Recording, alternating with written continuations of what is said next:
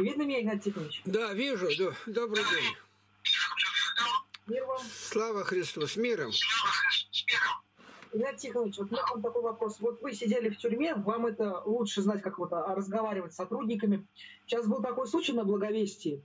Я раздавал Евангелие один, ну здесь я совершил ошибку. И меня остановили сотрудники милиции, стали вот чуть наручники на меня не надели. А, Стали утверждать, что я какую- какую-то пропаганду раздаю. Я раздавал Евангелие, я показал по благословению патриарха Кирилла, вот там, Евангелие. А Как мне надо было действовать здесь?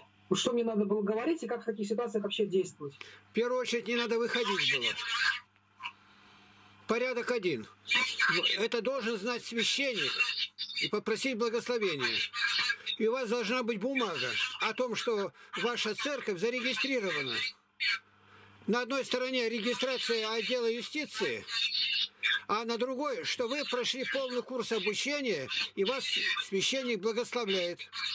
Вот А они не благословляют, они не дают. Вот эту, вот, я спрашивал, они Ну, не тогда, дают. тогда, Они тогда вопрос отпадает. Тогда э, то, что регистрация надо достать, хотя бы показать, что ваша церковь зарегистрирована в отделе юстиции. Они смотрят за порядком. У них норма такая, проверять. Они для того и существуют, эти органы, чтобы был порядок у нас. Потому что всякие есть люди, которые несут под видом добра зло. И они пресекают это. Вот так. Но если вы были известный человек, тогда бы только ну, паспорт с собой надо иметь, показать там, э, что требуется. Но вот мы сразу выдали документы, 18 человек у нас получили. И теперь, если полиция подходит, им показали только, они откозыряли и пошли дальше. Все. Без этого нельзя. А Благословить меня не Ну, такой порядок. Порядок. Вот, допустим, ты ну, на машине едешь, а у тебя прав нету. Они могут тебя остановить, и штрафовать тебя и машину загнать, где ты ее не скоро достанешь. Ну, порядок, да должен быть в стране. Они за этим наблюдают. Это как там Яровая такая депутат, она подняла этот вопрос и приняли такие вот решения. Ну, некоторые говорят, ну, теперь зажали. Я говорю, ничего не зажали. Мы тоже сразу получили в отделе юстиции, что мы регистрация есть, сфотографировали. Дальше на ксерокопии сняли, а на другой стороне на каждого документ, что он прошел полный курс обучения. Я вот вел занятия в университете, и мы всегда выдавали людям такие документы. А так ты идешь, что ты говоришь? Кто тебя проверять будет? У нас священники этим не занимаются, они не благословляют на благовестие. Они говорят, это не нужно. Дома сидите, молчите. И сиказмом Ну, это- это- так могут говорить только враги Христовы. Христос говорит, Евангелие от Марка, 16 глава, 15 стих, «Идите по всему миру и проповедуйте Евангелие всей твари». А скажут, так это сказано апостолам. Нет. Деяния апостолов, 8 глава, 4 стих говорит, «А рассеявшиеся мужчины, дети, все проповедуют». Деяния 8.4.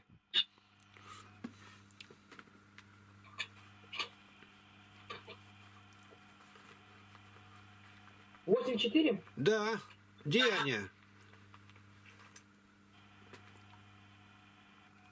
Между тем рассеявшиеся ходили и благовествовали слово. Все. Это женщины, дети, апостолы остались в Иерусалиме, самое трудное место. А везде эти пошли по деревням, по дорогам, везде. И стали свидетельствовать рассеявшиеся, которых разогнали. Это как костер разбросали, а куда угли упали, там загорелось все вокруг теперь. Это образное выражение. Ну вот так. А что мне говорить надо было в такой ситуации? Вот как себя вести? Ну, как вы сказали, показали, скажите, что мы православные, но опять доказать надо. Сказать, сказать можно. Как священник, Аминь на себя наложил, правильно. это говорю, любой может наложить. Правильно, это все хорошо, но надо, ну как, без бумажки таракашка, а с бумажкой человек. Ну вот и все. Я не знаю, на- к нам подходят иногда. Один раз подошли, а потом узнали, что мы одинаково все. Они никогда не подходят. А мы подходим им сами к ним, полиции-то и дарим, они благодарят.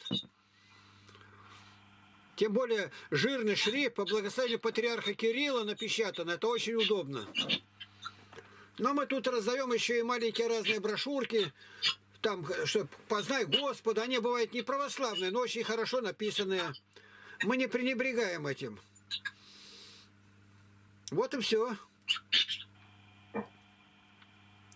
Работать надо, ревнуй о деле Божьем. А если пострадаешь, благодари Бога. Наручники это не означает, что плохо. Это означает, они в тебя видели человека. Человека, который зло не распространяет, а за добро арестован. Ты за Христа страдаешь-то. И написано таковых, награда на небесах великая. Господь говорит, гнали меня, буду гнать и вас. Слушали меня, буду слушать вас. Так что радуйся. Но сначала подойди к священнику и скажи, мне нужна бумага, благословение и все. Да, да, да.